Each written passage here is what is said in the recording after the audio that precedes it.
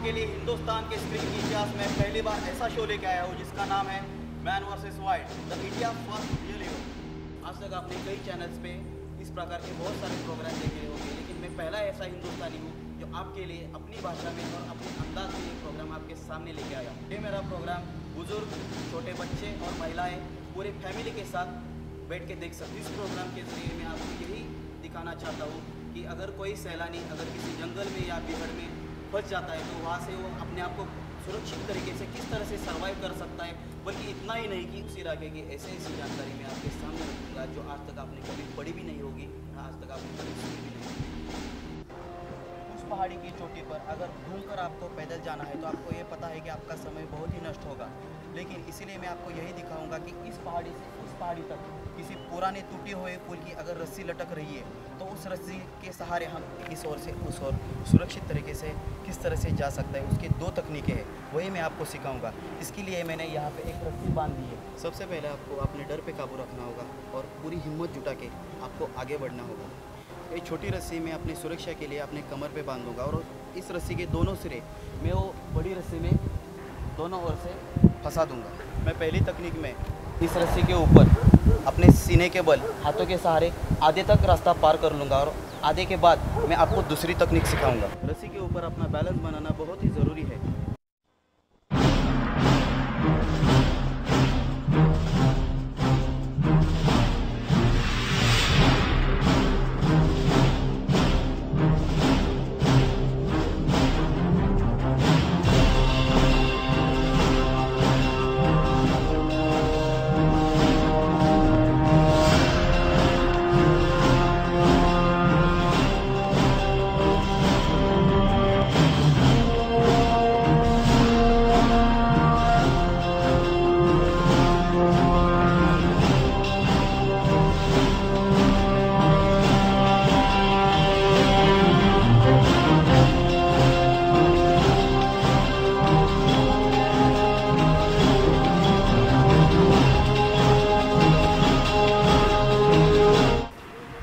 देख सकते हो कि मेरे दिल की धड़कन किस तरह से बड़ी हुई है। के ऊपर बहुत ज़्यादा ही प्रेशर पड़ा था। लेकिन अच्छा लगा कि मैंने करके दिखाया। मैं आपको यही दिखाऊँगा कि ये दोनों पत्थरों के ऊपर सुरक्षित तरीके से ऊपर कैसे चढ़ा जा सकता है। सबसे पहले हमें अपने हाथ और पैर जमाने के लिए सबसे सुरक्षित जगह ढूंढनी होगी।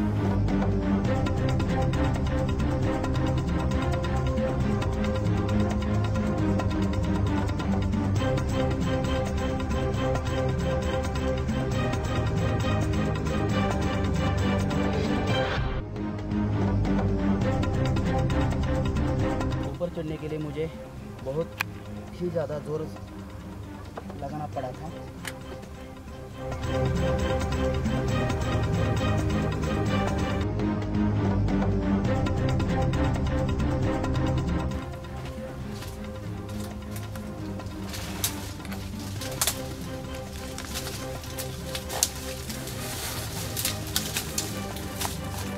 आप देख सकते हो कि यहाँ पे मैं इस चोटी पे खड़ा हूँ। और आप ये भी देख सकते हैं कि यहाँ पे कितनी घनी झाड़ियाँ है। यहाँ से उतरने के बाद मुझे ऐसा लगता है कि मुझे घर जाने के लिए रास्ता मिल सकता है।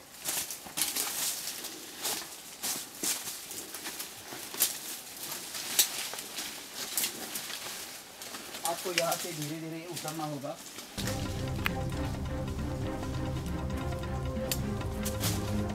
इस खूबसूरती के पीछे बहुत सारे खतरे भी है।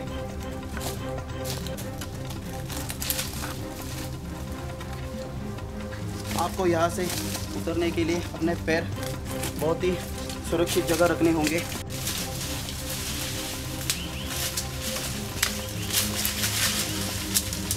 उतरते समय अगर आप किसी भी टहनी का अगर सहारा लेते हो तो सबसे पहले उसकी जाँच कर ले कि वो मज़बूत है या नहीं। आपने देख लिया, ये टहनी टूट गई। टहनी टूट भी सकती है और आपका बैलेंस जा सकता है और आप जख्मी भी हो सकते हो। इसलिए आपको उतरते समय हर चीज़ पे अच्छी तरह से ध्यान रखना होगा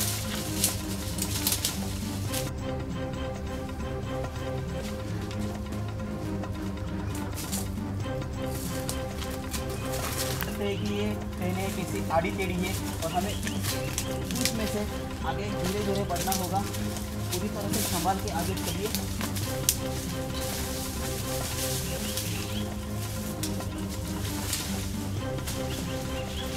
यहाँ पे देख सकते हो कि किसी जंगली जानवर का बसेरा लग रहा है, लेकिन हमारा नसीब बहुत अच्छा है कि इस वक्त वो यहाँ पे मौजूद नहीं है।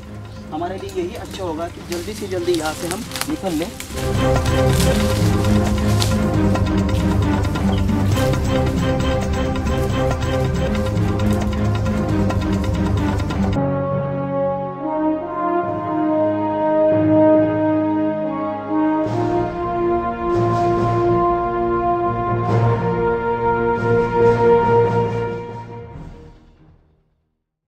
आज का सफ़र थकाने वाला था। आज मैंने आपको जो भी दिखाने की कोशिश की है, इस सब की झलक आप कल से देख पाएँगे। और दूसरा और तीसरा ट्रेलर एक एक हफ़्ते बाद आप देख पाएँगे।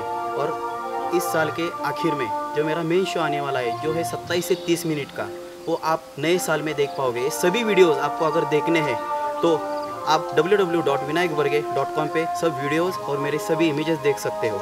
और यही वीडियोस अगर आपको यूट्यूब पे देखने हैं तो आपको टाइप करना होगा India's first real hero man versus wild आज मैंने आपको जो भी दिखाया है, ये सब आप घर में करने की कोशिश बिल्कुल ही मत कीजिए।